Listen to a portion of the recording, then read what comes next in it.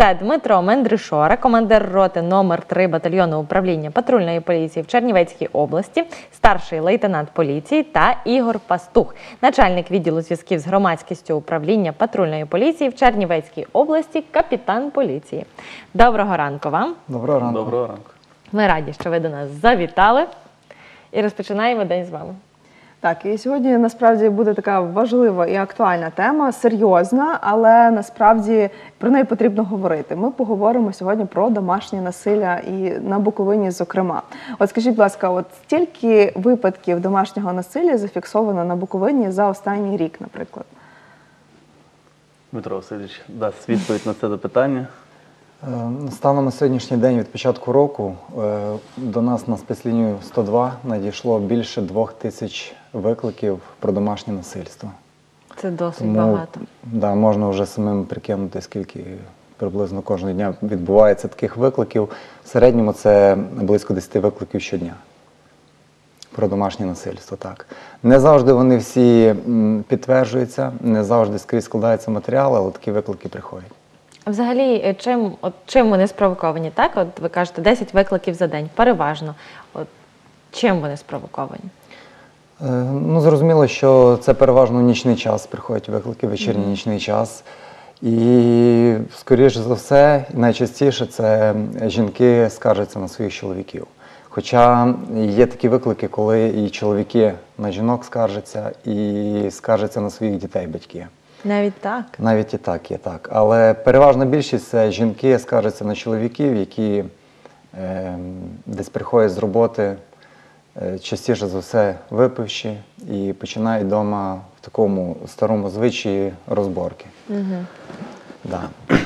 Взагалі, давайте про- проаналізуємо, які ситуації ми можемо віднести от, так, до домашнього насилля.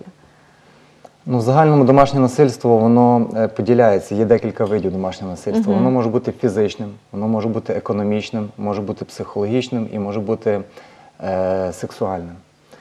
Е, не обов'язково чоловік повинен бити дружину для того, щоб це рахувалося насильством. Та й навпаки, якщо чоловік вже б'є дружину, е, у дружини є тілесні ушкодження. Тобто воно вже переростає з домашнього насильства на завдання тілесних ушкоджень дружині.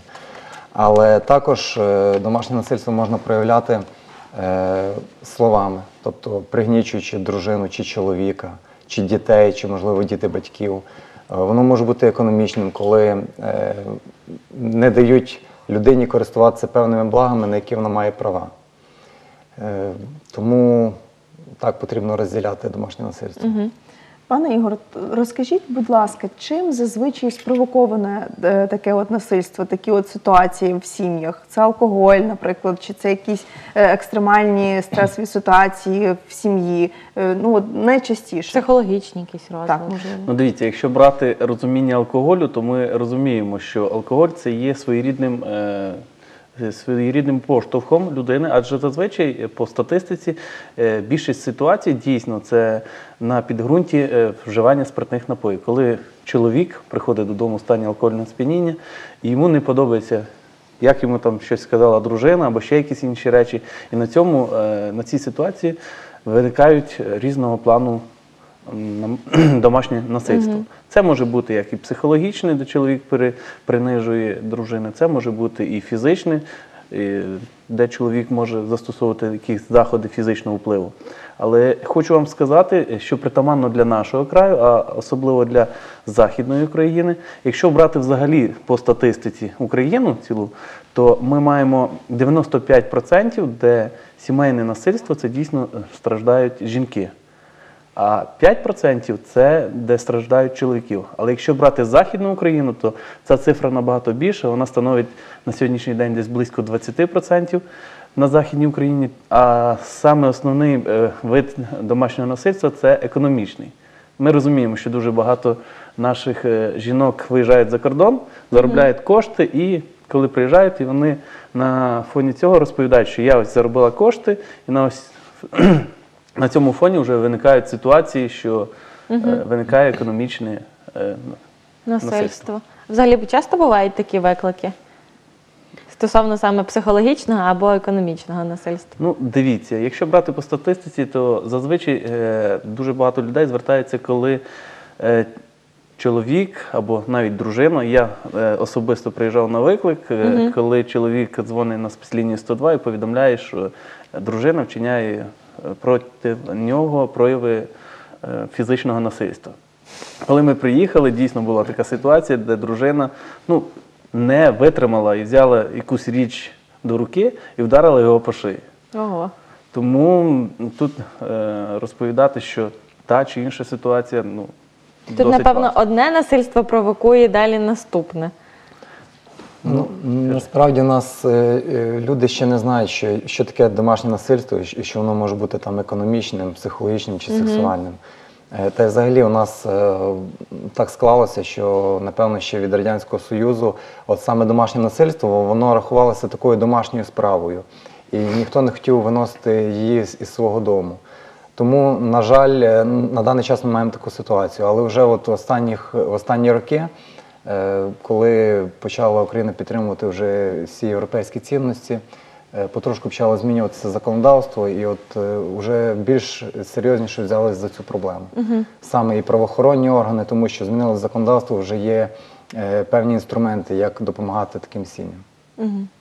Як от розпізнати початок насилля? Є якісь такі от фактори, за якими можна визначити, що от це домашнє насильство, от е, початок, якісь такі от зародки лише. Тобто ми не говоримо про результат вже, не дай Бог, побої, а от лише початок. Як це ідентифікувати? У вас є? Якісь? Ну, дивіться, якщо зазвичай брати, то ми розуміємо, що е, бувають сім'ї, які дзвонять на спецлінію 102, це разові сім'ї. Тобто вони не є, вони не звертаються на спецлінію 102, вони не є дійсно потенційними сімей, ну, сім'я, яка стоїть у нас вже перебуває на обліку, і ми знаємо, що ця сім'я е, дуже часто звертається е, щодо сімейного насильства. Бувають випадки, коли сім'я одноразово там звертаються, щось не, не врахували, не поділили і дзвонять на спецлінію 102. Тому з нашої сторони ми можемо тільки профілактувати і спілкуватися з ними. Дуже багато людей думають, що сімейне насильство, я маю на увазі там сусідів або знайомих, вони вважають, що це не їхні. Вони їм не, Не їхня потрібно справа, не так? їхня справа, це їхня сім'я, вони собі самі розберуться. У мене є своя сім'я, я не буду втручатися в їхню сім'ю. І тому люди в нас не привикли до того, що якщо відбуваються якісь протиправні діяння, що не потрібно мовчати, потрібно звертатися в поліцію. Далі є визначений алгоритм, як воно, ми будемо працювати вже з тими людьми. Е, є дуже багато соціальних центрів, соціальних працівників, які в подальшому вже будуть ставити і здійснювати соціальний е, супровід тих сімей. А особливо дуже, дуже знаєте, що турбує на сьогоднішній день сім'ї, в яких є неповнолітні діти. І коли ми приїжджаємо на виклики і бачимо маленьких дітей, там двох-трьох років, навіть старше, і дитина просто не знає, що робити, бо ця агресія відбувається на її очах. І нашою основною задачею є, е, коли ми приїжджаємо першим ділом, розборонити цю сім'ю, якщо там є якісь фізичні або е, словесні перепалки між е, дружиною і чоловіком. А інший працівник основною його задачею взяти дитину, відвести в іншу комнату, і тут потрібно бути тонким е, спеціалістом і психологом. Треба роз'яснити дитині, що це не з його вини, що мама з татом, ну так буває, ну щось не поділили, щоб дитина розуміла, що е, всі ситуації, які склалися в домі, це не з його Не, вини. вона не винна. Да, що вона не винна. Адже зазвичай відбувається так, що діти думають, що це з їхньої вини, вони закриваються в собі, і потім ми розуміємо, що з цих дітей, на жаль, виростають і в майбутньому, коли вони стають дорослими, ви- виростають ось такі самі люди. Так, та вони бачать приклад перед собою, як вони мають Так- так поводити себе в майбутньому. Ну і зрозуміло, якщо ми виявляємо такі випадки, е, першим ділом, якщо це перший раз звернулася сім'я з таким е, викликом і є діти, ми е, однозначно повідомляємо соціальну службу, соціальний центр, які вже беруть їх на соціальний супровід. Проводять е, профілактичні бесіди, проводять іншого характеру е, важелів впливу. Якщо вже це не допомагає, зрозуміло, матеріали передаються в службу у справах дітей, ну і ті вже приймають більш кардинальні е, важелі впливу. Якщо вже і це не допомагає, тоді вони приймають рішення і подають документи. Якщо є загроза, і ми розуміємо, що е, в цій сім'ї дитині буде дуже важко, і є загроза її безпосередньо життю і здоров'ю, то служба приймає таке рішення і е, збирає відповідно цілий пакет документів і виносить це рішення про позбавлення, Позбавлення. е, батьків їхніх батьківських обов'язків. І тоді через виконком ну, відбувається визначена процедура, суд, і якщо все позитивно, то дитину вилучається для того, щоб врятувати її життя і здоров'я. Звичайно, це найголовніше, мені здається. Е, Ми говорили про різні випадки, так що вам доводилося бачити.